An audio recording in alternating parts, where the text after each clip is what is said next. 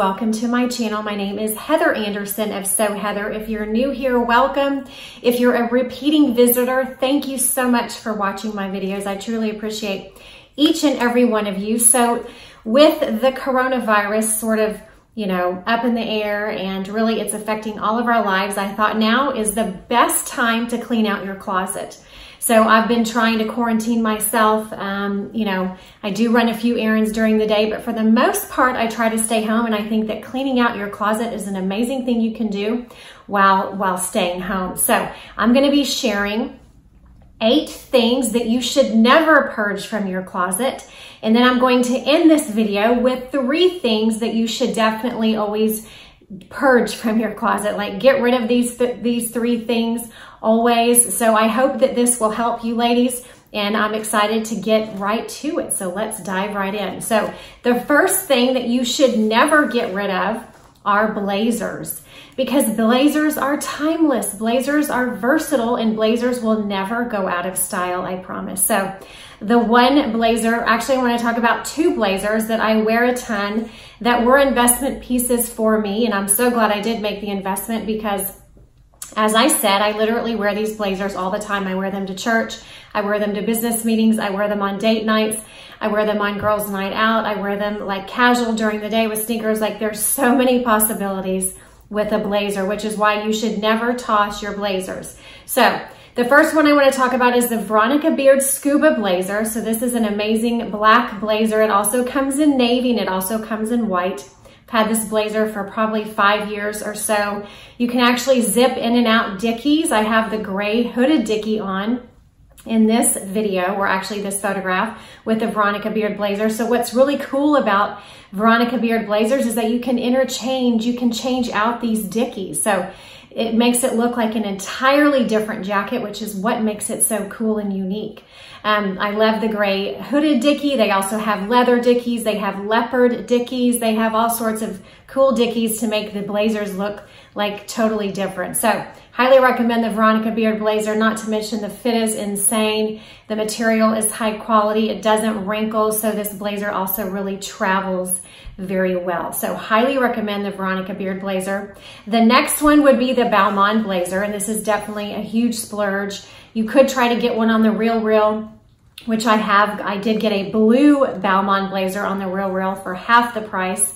So I will try and link some down below for you ladies. And just know that every item that I am talking about will be linked in my description box below.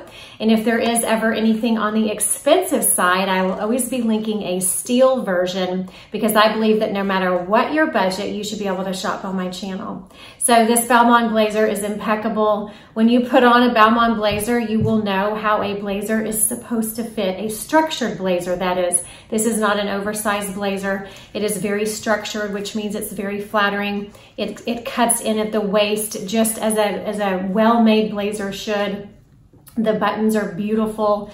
They're like a gold, gorgeous gold, you know, buttons. The material, it's, it's a wool blazer, so it, it's very substantial. It's not gonna wrinkle, you know, it's just insanely amazing. So incredible blazer, the Balmain blazer, highly recommend it.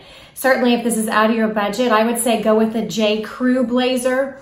Um, I have the camel one and I love it. My mom has the camel one and she loves it and wears it a ton. So also the black J. Crew blazer. Really any blazer from J. Crew is amazing. That would be the affordable option that I would recommend. Okay, item number two that you should never purge from your closet is a leather jacket, especially a black leather jacket or a navy leather, leather jacket or a camel leather jacket. So my absolute favorite leather jacket designer is IRO. Again, this is an investment piece, but as I've said before on my channel, there are three things you should invest in, outerwear, shoes, and handbags. So since a leather jacket is outerwear, I would say you should invest in at least one good leather jacket. And if you don't have a really amazing leather jacket, I would say go with black first. But I know that some of you ladies have commented and said, you know what, black's such a harsh color. So then my choice for you would be navy. So I'm gonna talk about this navy IRO leather jacket. I actually got it on sale um, last year at Neiman Marcus was like 40% off, so it was a great deal. I will try and find um, any IRO leather jackets I can on sale for y'all, and I'll link them down below. But IRO, the leather is buttery soft, the fit is impeccable. Like they just hug your curves in all the right places. But the reason that you should hold on to your leather jackets is because they really won't ever go out of style. A leather jacket is such a cool piece to throw on with any look and you're going to add a bit of edge to it. You're going to just add a lot of interest. You're gonna look chic, you're gonna look cool, and you're gonna look very edgy, but also you can look sophisticated in a leather jacket. Throw it on over a maxi dress, throw it on over a midi dress to wear it sort of dressed up, you know, wear it with sneakers as I have in this video to dress it down and wear it on the weekends. Like there's endless possibilities with leather jackets because they're so versatile. So never get rid of your leather jackets, ladies. Okay, number three, white sneakers. So white sneakers really never go out of style unless you like jumped on the um, dad sneaker bandwagon. I would suggest holding on to just your regular white sneaker. So the one I want to recommend today is this amazing Golden Goose dupe sneaker by Steve Madden. It is under $100 and it looks very similar to the Golden Goose sneakers I featured on my channel last week. These are gorgeous. They have the star just like the Golden Goose. They even have this metallic part on the back like the white Golden Goose I showed y'all last week. And then I love the suede toe. I think it makes these uh, sneakers look incredibly chic. You know, these are never going to go out of style or, you know, they certainly won't go out of style for many years to come. They go with so many things because of the neutral colors. Um, I'm a big fan of these and they're so incredibly comfortable, y'all. Like I've had them on all day. I wore them this weekend. I wore them everywhere and my feet never hurt, never got a blister, not even the very first time I put them on. So, and the best part, they're under $100. So hold on to your leather sneakers. If you don't have any good ones, I would highly recommend these by Steve Madden. Again, they're under $100, so they are a crazy good deal. Okay, number four, the number four item you should never purge from your closet are skinny jeans. Skinny jeans are timeless. Skinny jeans are versatile. Skinny jeans are never going to go out of style. They've been in style for many years and they're going to be in style for many more years. Trust me. So the one pair of amazing skinny jeans I want to feature today, like they're my most favorite and my newest skinny jean purchase are these awesome ultra high waisted jeans by J Brand. They have an actual 12 inch rise. So they're even a little bit higher than your regular high, high rise denim, which means they're gonna make your legs look crazy long. They're gonna make you look slimmer and taller. And literally, who doesn't want that, right? They're also very comfortable because they do have a bit of stretch in them. Um, I also love this uh, light wash for spring and summer. So they're really gonna incorporate well into your spring and summer wardrobe. If you're not sure of any, you know, some other things you wanna add to your spring and summer wardrobe, be sure and check out my 16 piece spring capsule wardrobe that I just did. So I would say hang on to the skinny jeans because ladies, they're not gonna go out of style and they're so extremely versatile. Okay, number five, the number five thing not to get rid of are slip dresses. I love slip dresses. I'm about to do a full video on actually on midi dresses and a couple of them are slip dresses because I love them so much. They are timeless. They are versatile. They look extremely chic and polished.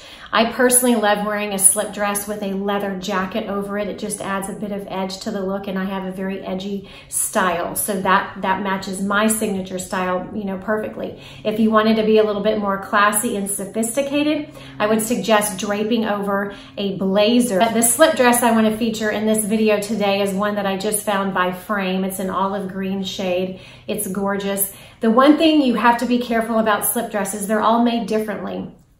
So I would say make sure it's a midi length, number one, and then maybe you order a couple and try them on because they all fit a little differently. I will say the reason I wanted to feature this one by frame is because the fit is amazing for me. So the way my body is made, um, it just fit me perfectly. It was the right size in the in the boobs. It, it hugged me in the thinnest part of my waist and then it just sort of flowed nicely and laid, you know, very easily over my body and then hit right below my knee. So I love the fit of this slip dress. I, you know, it's not going to go out of style anytime soon. I'll have it for years. It is a bit of an, an investment, but because it fits so well and it's such a neutral color, like I feel like olive green is a color you can wear all year round. In the spring and summer, I would suggest wearing this olive green dress with a white jacket or a white blazer on top of it. And then in this in the fall and winter, you could drape a black jacket or a black blazer over this dress to make it look more, you know, uh, fall and winterish. So just kind of depending on what time of year you wear it. Highly recommend this slip dress. If you have slip dresses in your closet, certainly don't get rid of them. Okay, number six are sweaters. Like sweaters just, especially if you get just like a, you know, regular style sweater if it has no special thing to it like if it doesn't have a puffy sleeve because puffy sleeves are trendy. So I try to buy just like regular you know classic sweaters so I have two favorite classic sweaters that I swear by and that I will never get rid of. One of them is the halogen cashmere v-neck sweater from Nordstrom. It is under a hundred dollars. It is so soft. I wear the black one a ton in the fall and winter underneath all of my jackets and in the um, springtime, I just ordered this V-neck J. Crew cashmere sweater, which I love. It's a light color, so it really blends well with spring and summer color combinations. It is cashmere, so it's super soft and cozy, but this sweater is never gonna go out of style. Like it'll look great alone, but it also looks really amazing with a jacket over it. So any sweaters that you have in your closet that are just like a classic crew neck or V-neck sweater with no like special things going on, keep those sweaters because during the winter you can always layer jackets over them and you know they're really not ever going to go out of style. And there's certainly something that you actually need in your closet because in the fall and winter you certainly need sweaters to stay warm and cozy. Okay number seven are designer bags. So of course, you made an investment. Hopefully you did a lot of research before you bought a certain designer bag. If you want to learn more about designer bags, I did a 2019 video. At the end of the year, I think I did, I featured seven of my most favorite designer bags because I do have a little thing for designer bags. I love investing in, in bags because they're something you carry every single day possibly if you switch your bags out, you know, I, that's kind of what I do. I have like three or four of my favorite spring and summer bags and I just switch between those and carry them on different days. Um, but yeah, don't get rid of your designer bags because actually vintage designer bags are really in right now. So they're certainly not going to go out of style. Now I will say this, if you did buy a designer bag and it's been it's been a while, maybe at least maybe five years or more, and you're kind of sick of the bag, what I would suggest is selling that bag on the Real Real because they really do hold their value pretty well, especially Chanel bags. I will say that Chanel bags hold their value better than any other bags on the market, just FYI. But you can sell your bags in the Real Real. I've sold a couple Gucci bags on the Real Real and done very well with that. So I would say, you know, hold on to your designer bags for at least five years, if not forever. But if you get sick of the bag, then yes, you can sell it on the Real Real, make some money from it to buy that new designer bag that maybe you're, you've been wanting for a long time. Okay, number eight are aviator sunglasses. Okay, first of all, that is like the only type of sunglass I will wear because I have a very small face. It's kind of narrow. So really aviators are like, I swear, the only, you know, style of sunglasses that look good on me. So what that says is aviators actually look good on almost anyone and they're never going to go out of style. They've been in style forever. I mean, do you remember Top Gun, the movie? Like, I love that movie, and they all had the coolest aviators on. That was so long ago, and aviators are still in style. I love Ray-Bans. They have they make really amazing aviators at really great prices. I got some pink Celine sunglasses aviators this season. I'm going to hold on to them for many, many years to come because as I said, aviators do not go out of style. So if you own any aviators, don't get rid of those. Okay, the three things that you should purge from your closet are these. Ready, ladies? Okay, number one, anything you haven't worn in two consecutive seasons. So if, you, if it's right now, it's spring. So if I have an item in my closet that I did not wear last spring and I did not wear it the spring before that, that means I didn't wear it in two consecutive springs in the same, you know, the same season, then get rid of it. You're not going to do it. I would even say even if you didn't wear it the one season before. So I didn't wear it last spring. Probably I'm not going to wear it this spring, especially if it's a trend piece.